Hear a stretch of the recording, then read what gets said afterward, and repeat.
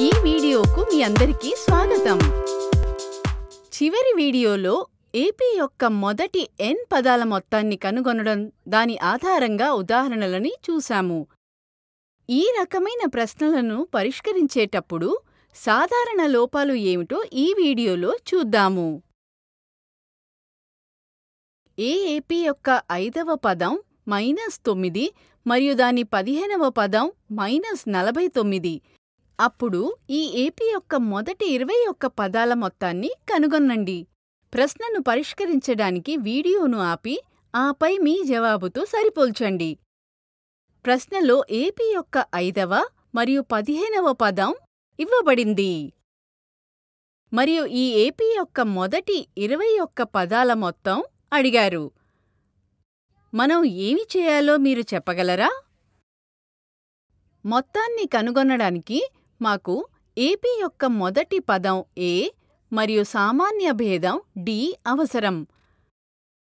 మనం ఐదవ మరియు పదిహేనవ పదాన్ని ఇలా వ్రాస్తే అప్పుడు మనకి ఒకటి మరియు రెండు సమీకరణలు ఇలా లభిస్తాయి. మనకు ఒకటి మరియు రెండు సమీకరణలు లభిస్తాయి.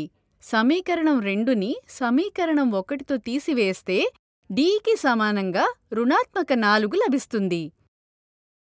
డి యొక్క విలువను ఒకటి సమీకరణంలో ఉంచినప్పుడు మనకు ఏడు సమానంగా లభిస్తుంది. ఈ ప్రశ్నలో ఏపీ యొక్క మొదటి ఇరవై ఒక్క పదాల మొత్తాన్ని మనం కనుగొనాలి. ఈ పరిస్థితిలో ఎన్ ఇరవై ఒకటికి సమానం. ఏపీ యొక్క మొదటి ఎన్ పదాల మొత్తాన్ని కనుగొనడానికి సూత్రంలో ఏ డి మరియు ఎన్ విలువలను ప్రత్యామ్నాయంగా మరియు పరిష్కరించడంలో మనకు మైనస్ ఆరు వందల తొంభై మూడు లభిస్తుంది.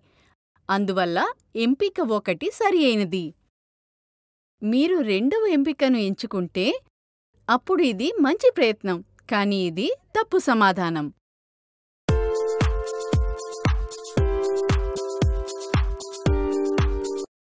ఎందుకంటే ఏపీ యొక్క ఎన్వ పదం యొక్క తప్పు సూత్రం ఆధారంగా ఏపీ యొక్క ఐదవ మరియు పదిహేనవ పదం యొక్క తప్పు సమీకరణం ఏర్పడింది.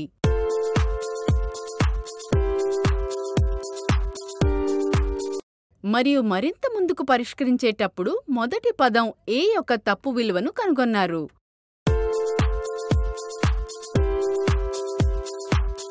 మరియు అదే క్రమంలో ముందుకు సాగితే తప్పు విలువలను మొత్తం సూత్రంలో ఉంచి పరిష్కరించబడుతుంది. అందుకే మీ సమాధానం తప్పు. మీరు మూడవ ఎంపికను ఎంచుకుంటే అప్పుడు ఇది మంచి ప్రయత్నం కానీ ఇది కూడా తప్పు సమాధానం.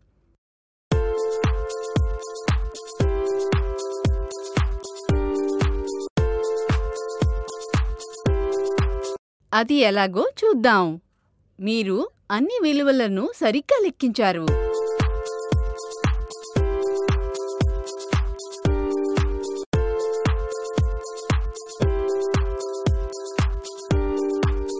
మొత్తాన్ని తెలుసుకోవడానికి ఈ సూత్రాన్ని ఎంచుకున్నారు. కానీ సూత్రంలో విలువలను ప్రత్యామ్నాయం చేసేటప్పుడు మీరు పదిహేను విలువను ఏఎన్ స్థానంలో ఉంచారు మరియు పరిష్కరించారు.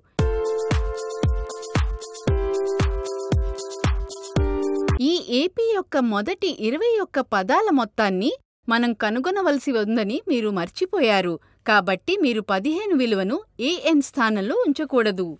కానీ ఏ విలువ ఇరవై ఒకటి? అందుకే మీ సమాధానం తప్పు అయింది. మొదటి ఎంపిక ఎందుకు సరియైందో మీరు అర్థం చేసుకున్నారని మరియు మిగిలినవన్నీ తప్పు అని మీరు అర్థం చేసుకున్నారని ఆశిస్తున్నాము. తరగతిలోని ఉపాధ్యాయులు కూడా ఇటువంటి ఉదాహరణల సహాయంతో విద్యార్థుల అవగాహనను పరీక్షించవచ్చు.